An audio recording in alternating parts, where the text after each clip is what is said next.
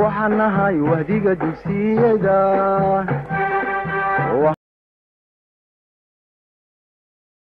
Asalaamu calaykum waraxmatullaahi wabarakaatu soo dhowaada glass aid students waa maadadii socialka iyo macalin nimcaan. Waxaa halkii inooga sii socon doona casharaanteeni aan ku dhigan jirnay habka fogaanta fog kaasoo aynu ku jirnay cutubkii shanaad international organizations cutubka shanaad ee buugga aidka ayaynu ku jirnay qaybihiisii dhexe.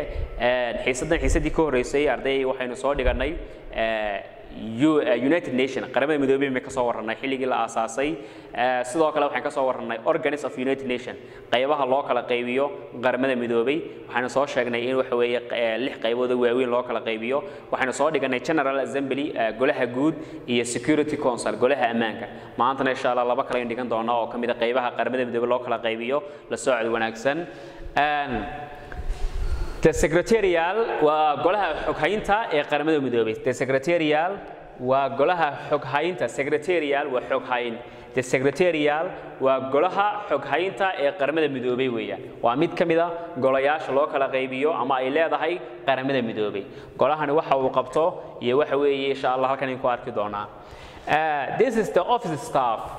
Golahani waa xafiiska shaqaalaha staff office staff waa xafiiska shaqaalaha ama waa halka shaqaaluhu ay ku kulmaan ee waxa weeye shaqada qaramada midoobay ay qabato ay ka socoto.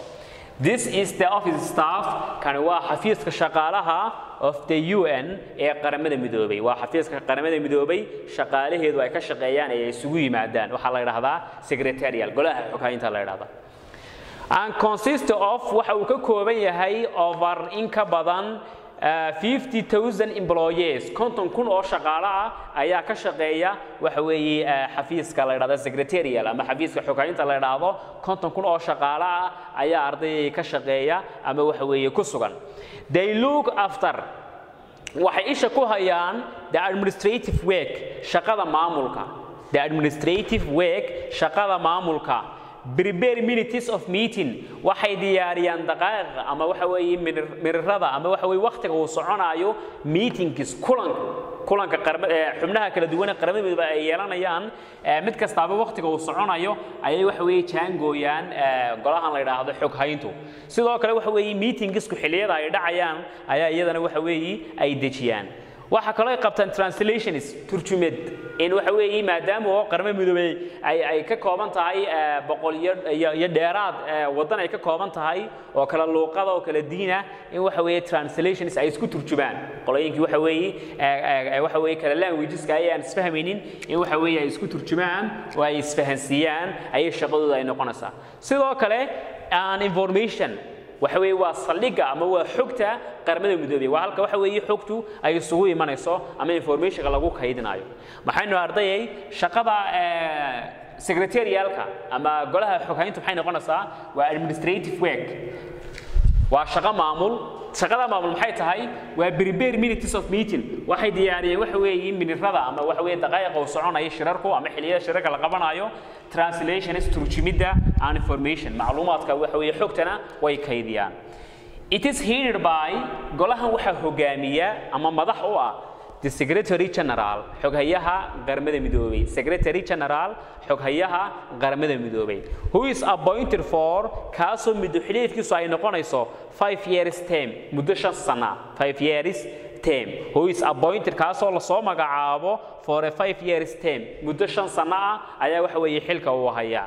By the general assembly waxa soo magacaaba uu noqonayo xogayaha qaramada midoobay golaha la yidhaahdo general assembly ee xiisaddan xiisadii ka horreysay aynu soo dhigannay. On the recommendation tala soo jeedin ay ka helaan of the security council golaha ammaanka.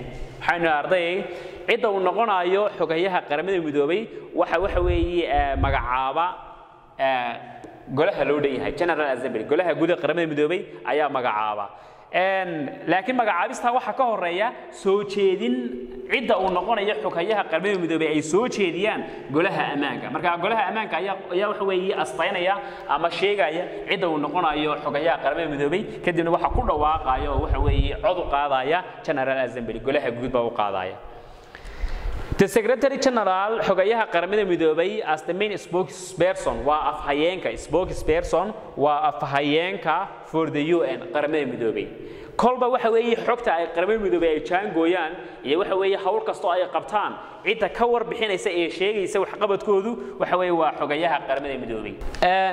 The secretarial generalis xogayaasha qaramada midoobay soo maray r waxay noqonayaan kow trigifli ninka la dhahdo trigifli of norway oo ka soo jeeda waddanka norway oo ahaa waxa weeye xoghayihii ugu horreeyey ee qaramada midoobay ay yeelato sannadkii afartankii ilaa kontonkii.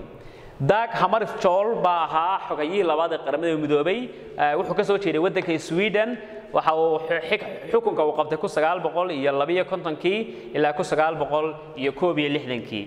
Utang of barma wuxuu ahaa xogayihii saddexaad ee qaramada midoobay lixdankii ilaa toddobaatankii ayaa waxa weeye qaramada midoobay xogayo uu ahaa waxaanu ka soo jeeday waddanka burma afar waa cart weldom hogaamiyihii la odhan jiray ama xogayihii la odhan jiray.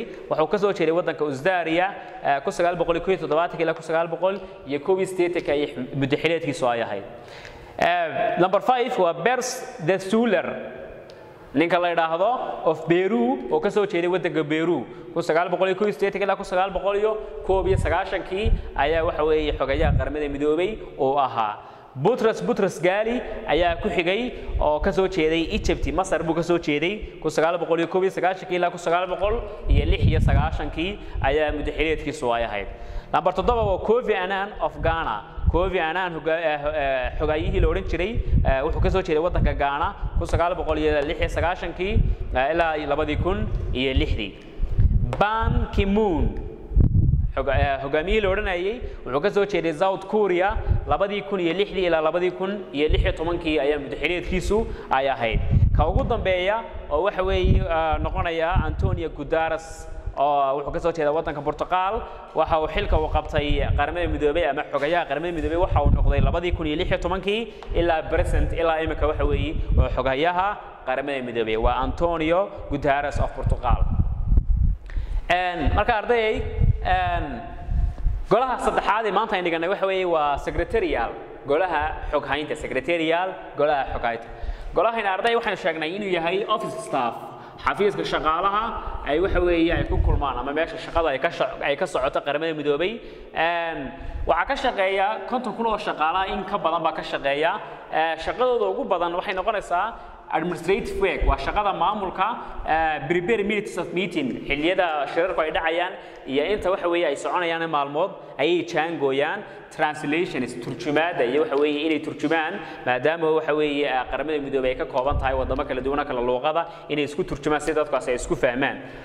Sidoo kale information in xogta waxa weeye ay noqdaan saldhigi ama saldhigi xogta qaramada midoobay in waxa weeye ay noqdaan iyadana waxa weeye waa shaqada ay qabtaan waxa hogaamiya oo ah golahan la yidhaahdo golaha xoghaynta waxa madax u ah oo hogaamiya nin la yidhaahdo secretary general.